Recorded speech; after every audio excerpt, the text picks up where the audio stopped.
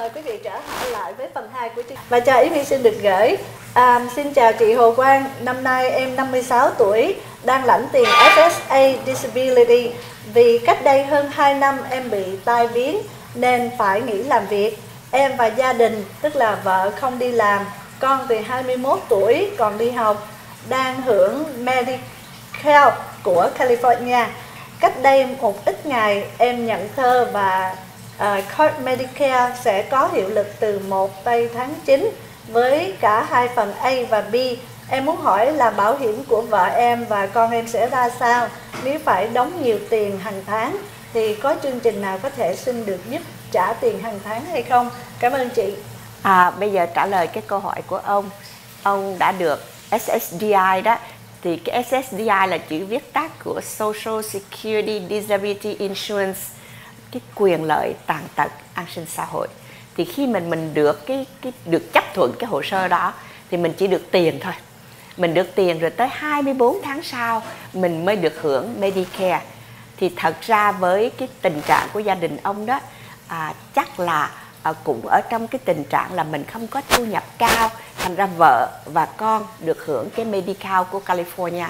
Khi ông được hưởng Medicare cái Medicare đó nó không có tính là ông có Medicare mà ảnh hưởng tới vợ và con mà người ta vẫn tiếp tục tính trên cái mức thu nhập và tài sản của gia đình. Thì nếu cái mức thu nhập và tài sản của gia đình không có gì thay đổi thì à, có thể xin được cái đó. Chỉ có cái không biết là đứa nhỏ à, trên 21 tuổi thì cái luật medical của California có còn tiếp tục cho cháu hưởng hay không? À, tại vì cái đó nó không có nằm trong cái nghề của nàng. Nghề của tôi là chỉ Medicare Medical hay là Medicaid cho những người có lãnh tiền hưu, tiền bệnh hay là tiền SSI. Và tiếp theo với câu hỏi. Xin chào chị, tôi và vợ tôi sinh năm 1955 Chúng tôi dự định full retirement năm 2021 Chúng tôi có quốc tịch và đã có hơn 40 quarter. Tôi thì có đóng Social Security tax Vợ tôi thì không. Bởi vì vợ tôi làm cho LA County. Vợ tôi thì được hưởng 50% trên tổng số lương retirement của tôi. Còn tôi có được hưởng quyền con tôi có được hưởng quyền lợi như thế nào theo hệ thống của LA County? Xin cảm ơn chị. Ừ, câu hỏi này câu hỏi khó đó. Là tại vì à, tôi à, thừa khai lên đây nói với cho quý vị nghe về chương trình hưu bổng an sinh xã hội à, chương trình hưu bổng an sinh xã hội là khi chúng ta đi làm và đóng thuế an sinh xã hội. À, cái chương trình này được chính quyền liên bang quản trị riêng với những người mà làm việc cho chính phủ. À, chính phủ thì chúng ta phải phân biệt có nhiều tầng lớp trong cái cơ cấu tổ chức chính quyền của Hoa Kỳ. Một là chính quyền liên bang hai là chính quyền tiểu bang rồi chính quyền địa phương thì trong đó gồm có county và city. Thì mỗi một cái cơ cấu chính quyền họ có một cái cách thức hưu bổng riêng. À, liên bang thì dễ tôi biết được là tại vì đó là liên bang à, mà tôi làm cho chính phủ liên bang thì tôi biết nó áp dụng cho tất cả 50 tiểu bang của Hoa Kỳ. State thì tôi cũng biết ít ít thôi là tại vì mỗi một tiểu bang họ có cái quy chế riêng. Riêng về chính quyền địa phương thì ngay cả ở cái nơi tôi cư ngụ à, CD Dallas thì cái người dân đi làm cái người nhân viên đi làm không đóng thuế an sinh xã hội. À, mà có những city thì người công nhân đóng thuế cho cái cơ cấu an sinh xã hội.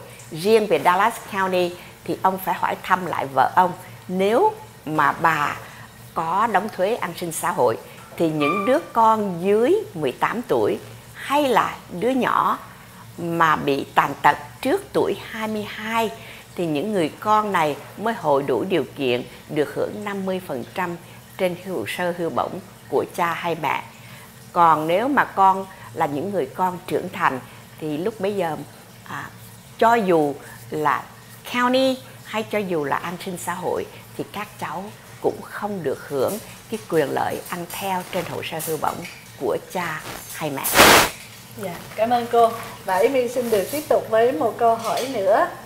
À, dạ xin chào, tôi đã lãnh full retire 2.100 một tháng Vợ tôi hưu ở 62 tuổi vào tháng 3 năm tới, à, sinh năm 1958.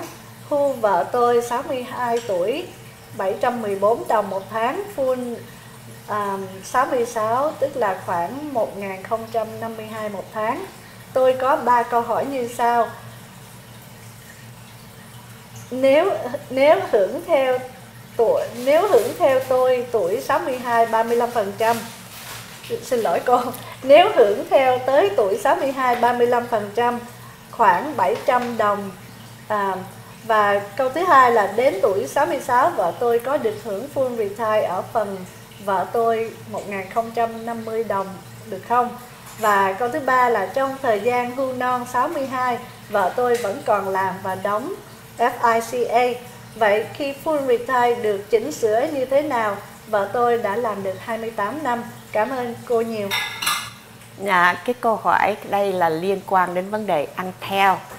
À, hiện nay đó, à, ở cái thời điểm này năm 2019 thì à, vợ chồng ăn theo thì cái người mà ăn lương ít đó có quyền bây giờ hai vợ chồng xăm xáo nhá ông chồng được 2001 bà vợ được 700 thì cái bà vợ hiện nay ở cái tuổi 66 đó được quyền để dành cái phần của mình. 700 mấy để dành đi mình ăn phân nửa cái của ông. Thì mình để dành cái phần của mình nó sẽ sinh lời. Tại vì tới năm 70 tuổi mỗi một năm mà mình chờ số tiền sẽ được tăng 8%. À, đối với trường hợp những người về hưu non đó, cho dù biết rằng mình được hưởng 35% của người phối ngẫu thì ở đây, ông phải so qua cái 35% của ông, nó có cao hơn cái tiền hưu non 75% của bà hay không. Nếu có cao hơn, thì chính phủ sẽ phát cho bà cái phần của bà trước, rồi phát cái phần sai biệt cho đủ 35% chứ mình không có được sự chọn lựa là mình lãnh cái của chồng, rồi mình để dành cái của mình cho tới tuổi hưu toàn phận.